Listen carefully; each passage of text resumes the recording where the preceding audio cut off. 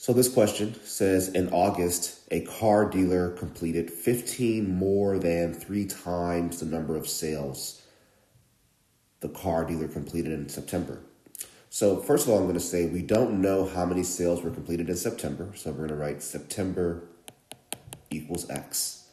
But we're told that for August, it is 15 more than three times those number of sales. So August should be 3X plus 15, right? 15 more than three times the number of sales.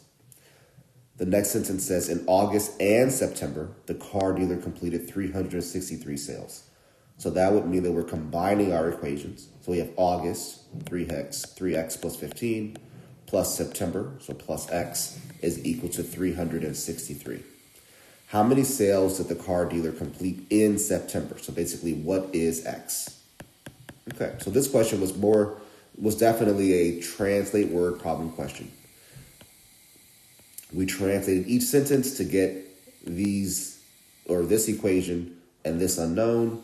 We combined those equations based upon the translation from the second sentence, and we know that we're looking for just an x value here.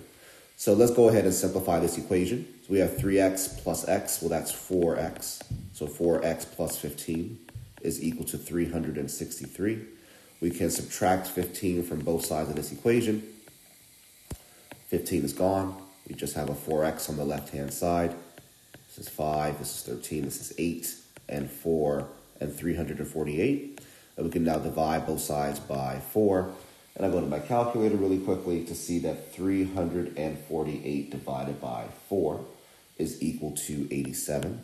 X is 87. Therefore, there were 87 sales in the month of September, and our answer is 87.